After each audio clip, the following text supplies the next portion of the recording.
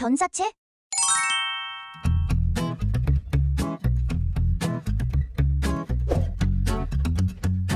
이번 주에 서울 출장이 있었다. 온 김에 서울 언니 집에서 자고 평소 관심이 있었던 나들목 네트워크 소속의 한 교회에서 주일 예배를 드리기로 했다. 네, 다음 소식입니다. 이번 주 변사체가 새만금에서 있습니다. 뭐라고? 새만금의 변사체가? 여러분, 이제 변사체 다 아시죠? 매년 다양한 변역 현장을 체험하는 변역사역 체험학교가 이번 봄에는 새만금을 탐방합니다. 아, 뭔가 했네. 변사체라고 하다니 변역사역 체험학교의 줄임말이구나. 암튼 이 교회 흥미롭군.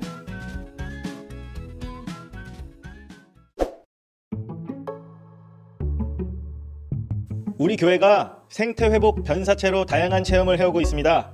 창조 세계의 아름다움을 마주하는 숲 체험도 했었고, 지구를 쓸고 닦는 플로깅 참여도 했었고, 바로 지난 겨울에는 기후위기 취약계층들에게 따뜻한 담요와 양말을 기부하기도 했었습니다. 이번에는 환경 위슈로 뜨거웠던 새만금을 탐방하고 함께 생각하는 시간을 가지려고 합니다. 야외로 나가 탐방하기 딱 좋은 계절이죠.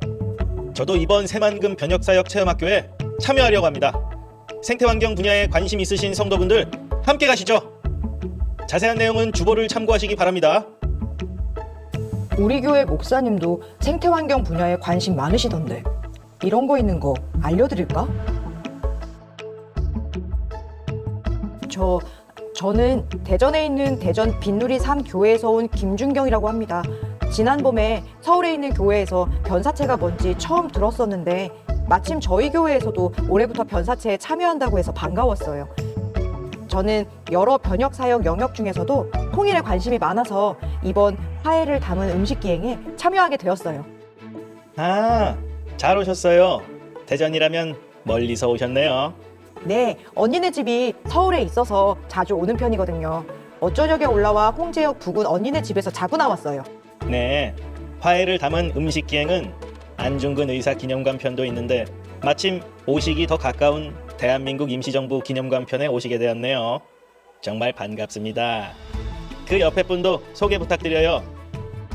네, 저는 별내에 있는 가치가 교회 다니는 서지성이고 이번 중딩 딸 서호연과 서울 나들이 겸 왔습니다. 대한민국 임시정부 기념관 가는 거라고 할 땐 시큰둥하더니 뉴욕 타임즈 선정 10대 레스토랑에서 밥 먹을 거라고 하니까 얼른 가겠다고 하더라고요. 아이에게 한반도 평화를 꿈꾸게 할 좋은 기회가 되었으면 하는 바람입니다. 내가 언제 그랬어? 그럼요. 아이에게도 어른에게도 역사를 돌아보고 평화와 화해에 대해 상상할 좋은 경험이 될 거예요. 음식 체험은 임시정부가 중국 여러 곳에 옮겨 다녔거든요. 그 당시 임시정부 요인들이 드셨을 만한 중국 전통 음식을 체험하게 될 텐데 아주 맛있습니다.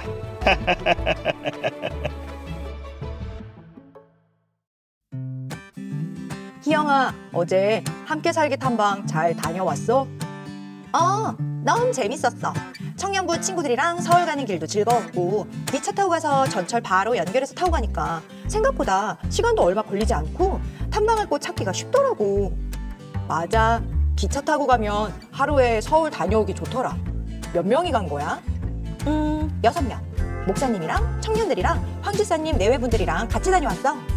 아, 어땠어? 성북천이라고 서울 성북구에서 동대문구로 흐르는 개천이 있는데 그 개천 따라 한 교회에서 시작한 여러 개의 기관들이 군데군데 있더라고. 도서관도 있었고 청소년 돌보는 센터, 고립 청년들과 함께 사는 곳도 있고 북카페랑 공연장도 아 어린이집도 있었다.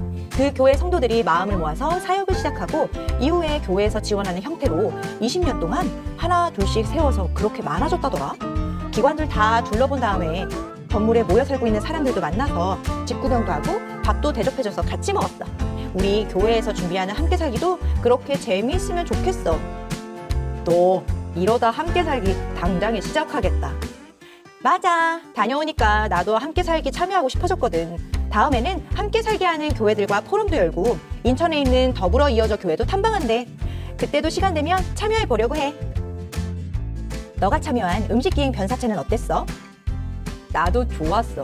역사를 아는 것이 한반도의 평화와 통일을 꿈꾸는데 얼마나 중요한지 깨닫게 되었어.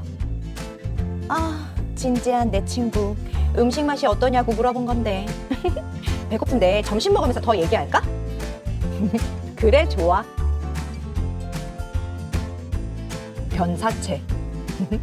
이번에 민족화의 체험학교를 다녀왔으니 다른 변혁사역 체험학교도 가볼까? 가을에 있다니까.